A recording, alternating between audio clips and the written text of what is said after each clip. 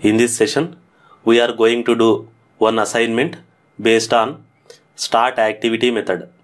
This is a studio based assignment. Let us say I have two screens like this where first screen contains two edit text boxes and a button. Second screen contains a text view which displays welcome user. First edit text box contains a hint enter username. Similarly, second box contains hint enter password. Now the requirement is user will enter some username in first edit text box and some password in second edit text box and when user clicks this button login then what programmer has to do in this button click listener programmer has to check if the entered username is palle p small letter and if entered password is university then start second screen which displays welcome user. Otherwise don't start second screen. Display a toast message in the first screen saying invalid credentials. That is a requirement. So let me mark here. While comparing first edit text box value should be palle and second edit text box value should be university in palle p is small letter. In university u is small letter. Now let me give some important clues to do this assignment. In java if you want to compare two strings we should use string class method equals. Let me show you an example. This is the correct approach to compare two strings. Here if you observe the code equals method. Can you tell me what exactly equals method will do in java in java equals method is used to compare the content of a string with other string. In this case the content of s is high and you are comparing high with high. So if both are same the content of s and this content is same in that case equals method will return true and this code 1 will be executed. Else code 2 will be executed if they are not same. Now let me show you the wrong approach to compare two strings. In my experience i have seen such kind of code many times. Now observe below piece of code. Can you tell me for this if statement whether code 1 will be executed or code 2 will be executed? It looks like s contains high is high equal to high. True it will enter into if condition and it will execute code 1 but it is completely wrong because this is a wrong approach to compare two strings. Here equals operator is comparing the address of s with the address of high sometimes this logic may work sometimes this may not work. If you need more clarity on how to compare two strings i would strongly recommend you to go back to java course for professionals in palle university. Otherwise the correct approach is this one. Don't use this approach to compare two strings. With this clue you can proceed further and you can do this assignment. Now i hope you have done the assignment. Let me show you the solution.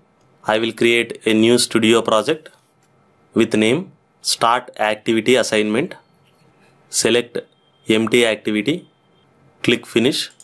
By default studio will give only one activity. First we have to create second activity. Then design first activity xml with two edit text boxes with hints and a button and design second activity xml with one text view which displays welcome user. Then we have to go to first activity java file and we have to write the code. That is three step process. Declare all variables initialize all variables and write button click listener. In the button click listener we have to read the value of edit text 1 compare with palle and read the value of edit text to compare with university. If both are matching then start second activity. How will you start another activity? We have to use intent and start activity method. First let me create second activity. Package right click new activity empty activity. I will name it as second activity don't uncheck this. This is your second activity. Xml file name. Don't select this. Click finish. Now go to activity 1 xml take linear layout. Orientation. Vertical. Because all these elements are aligned on y axis this is y axis remove existing text view. Take one edit text with width match parent height wrap content id edit text 1 and hint. Hint is enter username. Let me copy this and after edit text 1 i will paste. This is edit text 2 edit text 2 hint is enter password. Below this i will take one button. Below edit text take one button with width match parent height wrap content id button 1 with the text start second screen. Now go to second xml take linear layout with orientation vertical.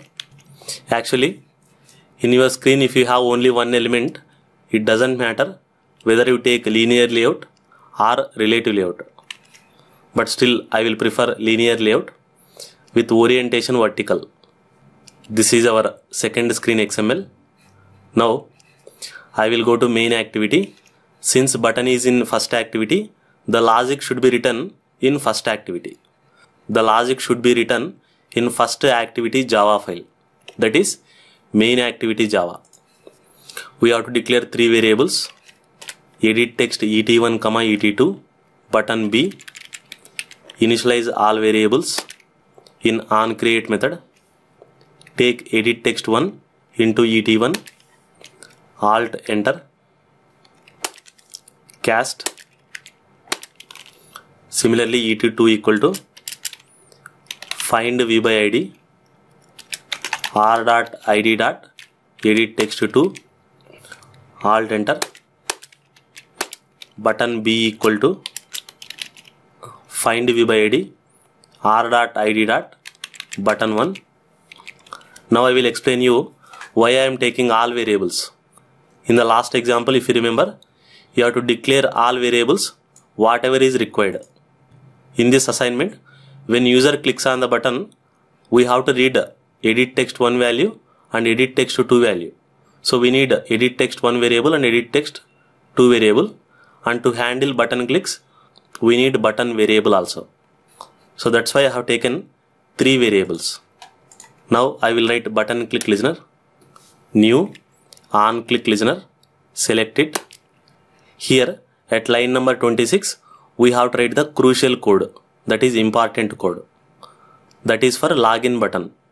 Here et1 is pointing to edit text 1 that is first box.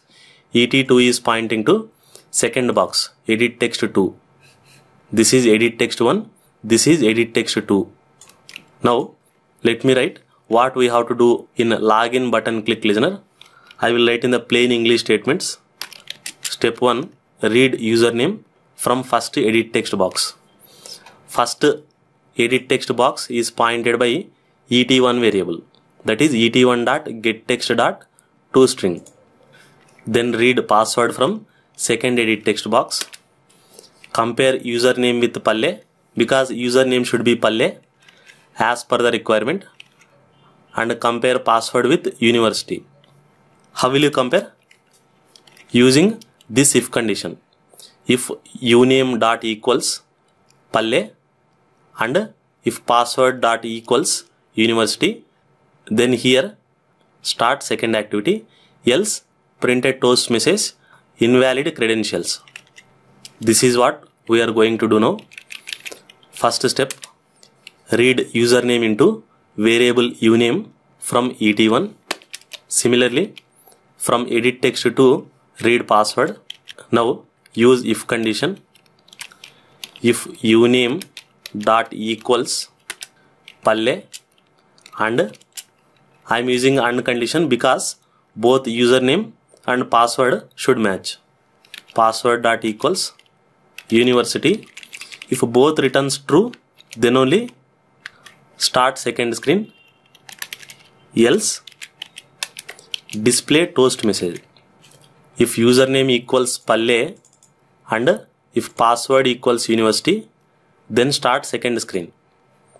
Uname is a string variable which contains data from edit text box 1 similarly password contains the value of edit text box 2 so if it is success i will use intent to start next activity main activity dot this comma second activity dot class and use start activity method pass intent object.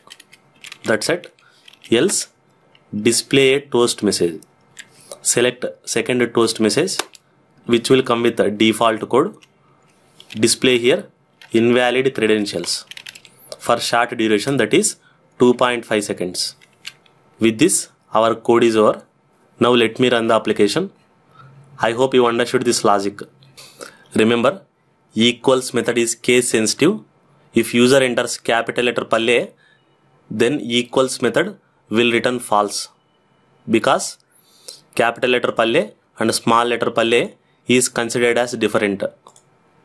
As you know capital letters will have different ASCII code and small letters will have different ASCII code now it is launching application now I have opened Genymotion I will type Palle in capital letters university it displays invalid credentials now I will click with latest data now I will click start second screen which displays welcome user when you press back button still first activity will be there as I told you already you should not use equals operator. Let me show you. If I use equals operator what will happen? Now I have used equals operator.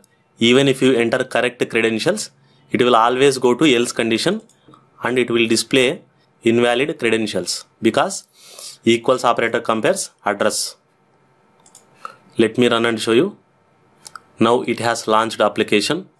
I will type correct credentials still you can observe invalid credentials that is a problem with equals operator so let me modify the code I hope you understood this logic in case if you want you can also put breakpoint and cross check how it is executing this code